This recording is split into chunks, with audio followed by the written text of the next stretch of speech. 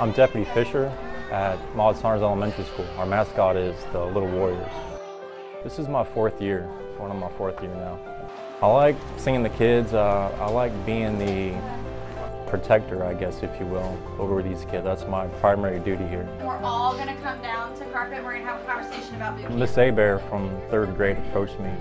They were running a boot camp, a multiplication boot camp for third grade.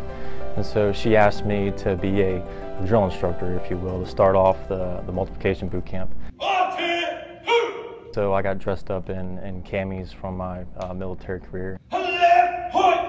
Came out and acted like a, like a drill instructor. What do I have here?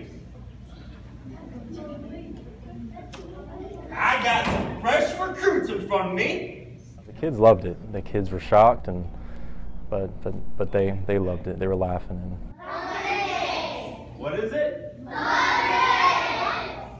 It's your first day of multiplication boot camp. stimulating their their growth and development. Did you have fun? Yes, ma'am. Um, what do you remember most about boot camp? Um, you have to work out. Are we ready?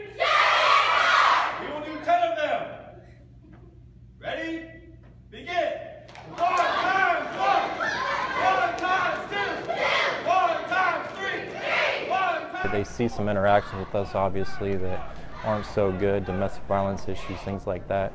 And so I kind of want to, I want to create that, that buffer between that so that it's kind of more of a, a friendly interaction between us.